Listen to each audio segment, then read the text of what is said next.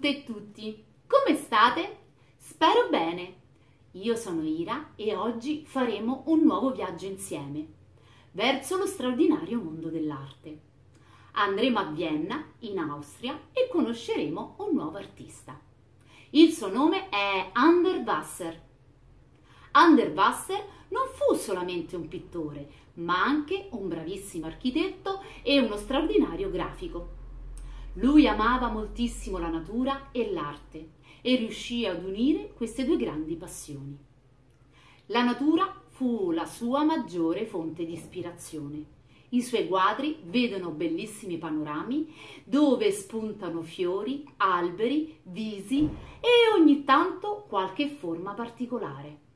Dovete sapere che Underwasser prese il suo nome da una parola composta che è Under più Wasser, che vuol dire cento acque, perché amava tantissimo l'acqua e anche nelle sue costruzioni architettoniche inseriva sempre dei giardini, degli alberi che fuoriuscivano dalle finestre o dalle terrazze. Dopo vedrete nelle foto le immagini di bellissime costruzioni realizzate all'interno della città di Vienna. Oggi è molto importante che diamo valore all'ambiente e che riusciamo a stare in armonia insieme alla natura e alle città. Tant'è vero che sappiamo benissimo ormai che i virus viaggiano soprattutto quando c'è più inquinamento. Ma siete pronti a fare anche voi un bellissimo quadro come faceva Underwasser? Ognuno di voi potrà realizzare un giardino o un orto sul proprio foglio e lasciare andare la fantasia e l'immaginazione. Allora, per fare il nostro quadro abbiamo bisogno di un foglio, se è ruvido ancora meglio, degli acquarelli e se non li avete potete utilizzare delle tempere con molta acqua, un rotolino di scotch grande e un rotolino di scotch piccolo o qualsiasi cosa che abbia forma di un cerchio. Poi la matita per realizzare il disegno, una gomma se avete bisogno di cancellare, dei cotton fioc che sono molto utili per colorare, dell'ovatta e dei pennelli. Naturalmente un piatto con dell'acqua e una bottiglietta d'acqua se ci dovesse servire.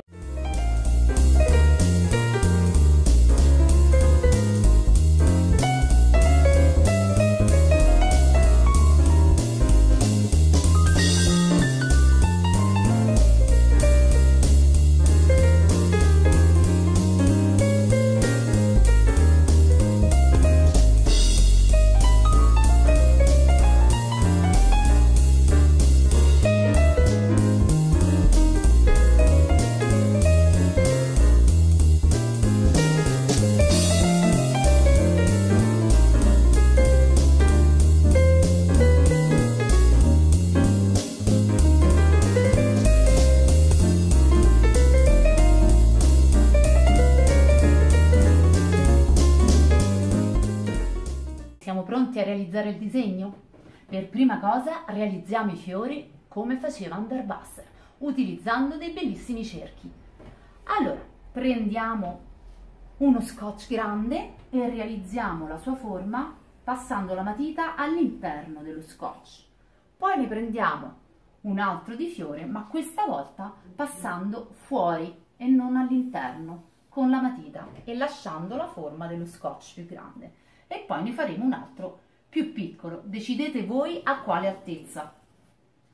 Poi metteremo il gambo.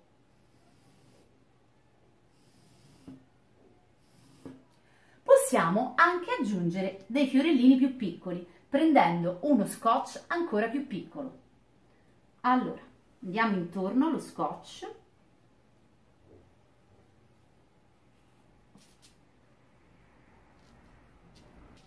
aggiungiamo i gambi. Adesso realizziamo delle linee come se fossero delle linee di luce che illuminano i nostri fiori. Quindi partiamo dal centro del foglio e sviluppiamo delle linee.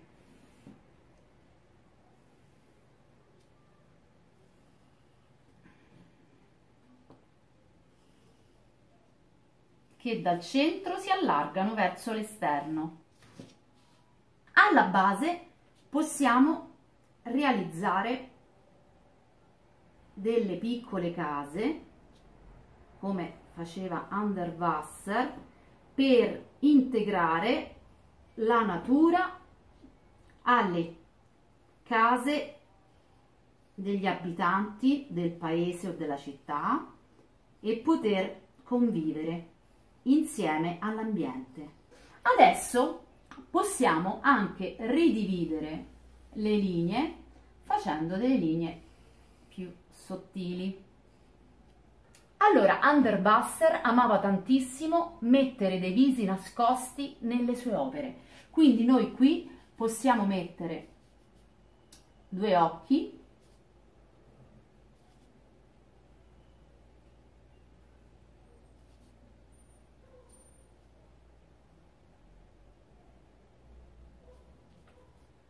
naso, una bocca che si nascondono nel campo. Ok, allo stesso tempo possiamo divertirci con le linee morbide della natura che piacevano tanto al nostro grande artista. E ci divertiamo a tracciare delle linee intorno a un fiore per esempio. Come se fossero dei raggi. Amava tantissimo le spirali quindi per esempio al centro di questo fiore possiamo fare una spirale ne possiamo fare una più piccola qua.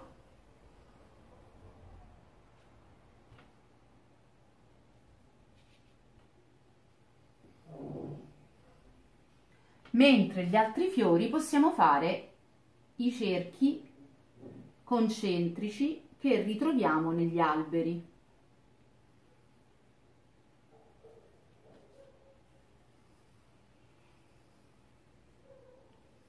Qui possiamo anche rappresentare delle spirali con forma quadrata, con cerchi. Realizzava anche delle specie di cipolle. Possiamo metterne una qua.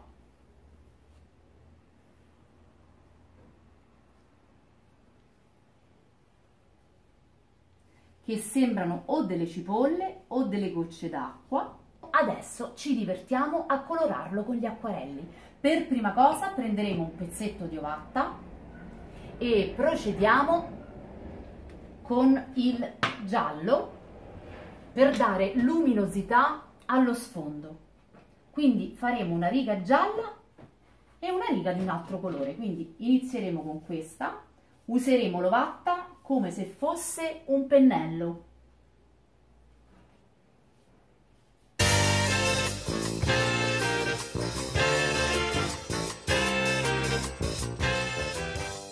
Adesso mettiamo un po' di giallo scuro nei fiori per fare la base del fiore. Adesso procediamo con i cotton fioc e ci divertiamo a dare colore ai fiori, alle casette e al gambo.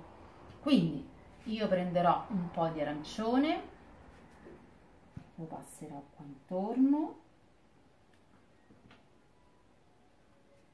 mm.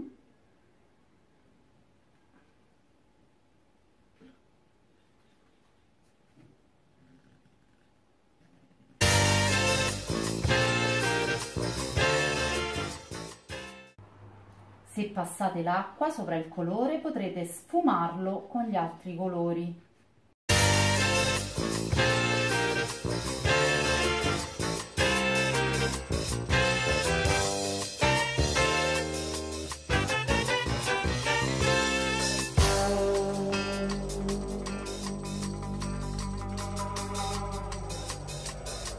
Possiamo usare anche i pennelli. Ci divertiamo a mettere il gambo, che io a questo punto farei sul blu scuro.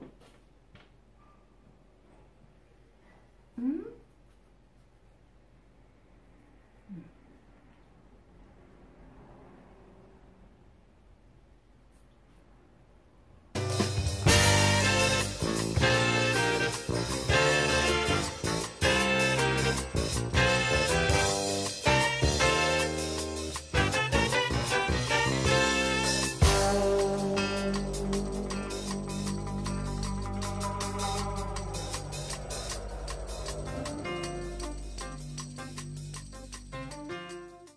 Allora ragazzi, adesso sto ripassando i fiori con un colore più scuro a contrasto, con il pennello. Quindi, per esempio, questo fiore passerò intorno un verde più scuro.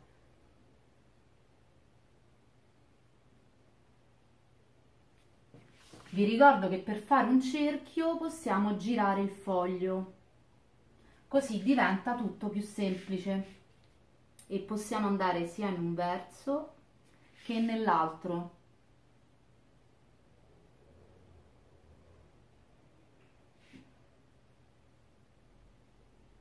Una cosa importante dell'acquarello che se c'è la goccia con l'acqua la dobbiamo portare in giù, verso il basso.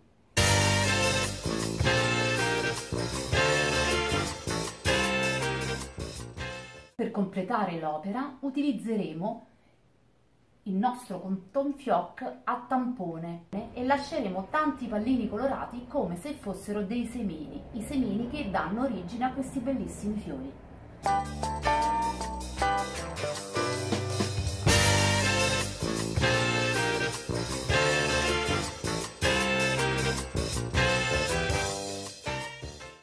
Allora ragazzi, questa è la nostra opera, spero che vi sia piaciuta e che anche voi vi siate divertiti a realizzare un giardino di fiori o un vostro bellissimo orto.